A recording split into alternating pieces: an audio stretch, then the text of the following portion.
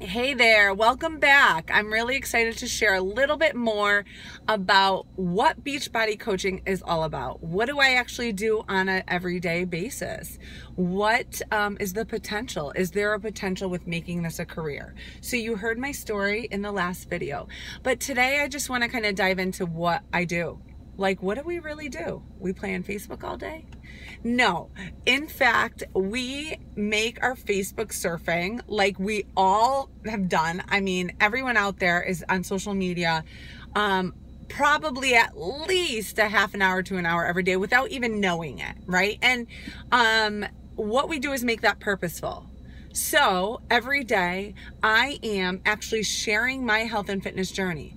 So we want you guys in a group where you're held accountable, supported, you're on your health and fitness journey with me as a coach, walking you through it, holding your hand, supporting you every step of the way. You're seeing results and you are diving into personal development. So, what personal development is all about is personal growth. Whether it's faith based, it's reading your Bible, um, reading a book that really motivates you and moves you to just live a better life and thrive in life instead of just kind of surviving the daily, daily, day to day. Um, and that has totally changed me. I was never outgoing. I was never like this until I got into the personal development and just kind of, you know, made that a number one in my life. You know, where I get up earlier now and I read and listen to personal development to kind of set me for the day. It has helped me in my marriage. It has helped me in my career. It has helped me be a better mom. So, all of those things. And it helps me talk to people and feel more confident because before I was not. So, you would be checking into our group, our challenge group you would be on your own health and fitness journey, whether you're just starting out or you're already been on it and you feel good already. Whatever it is, you're sharing that. You're just sharing um, how you how you show up every day. People are watching, you know? So you're sharing that on social media. And we teach you ways to share this. We teach you ways to share it so it's not salesy and weird and awkward. And so you're being yourself and just sharing who you are.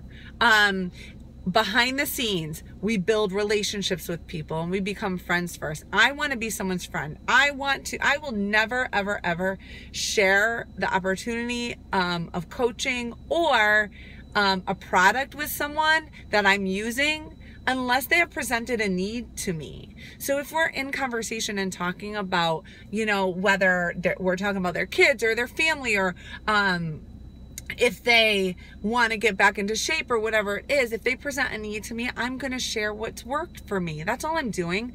I'm not being awkward. I'm not sharing stuff that I haven't used. That's why it's so important to be a product of the product. That's what I do every day.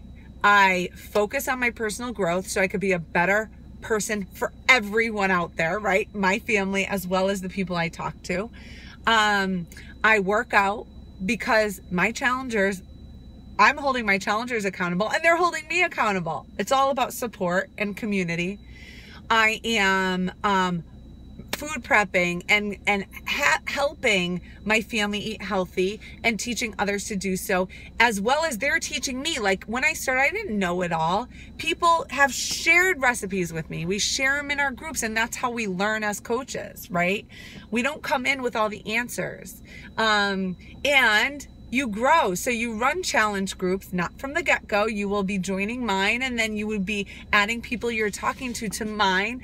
And then when you feel comfortable, you do your own. And how awesome is that? And a lot of times, you do it with a friend, a friend that you've met maybe on our team, someone that a success partner, we call it, that's kind of holding your hand, you're bouncing ideas off of. So you're never in this alone, ever, ever.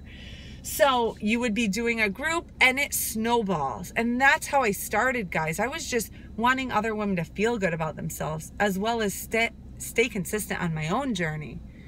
And it just snowballed from there. And I just kept showing up every single day.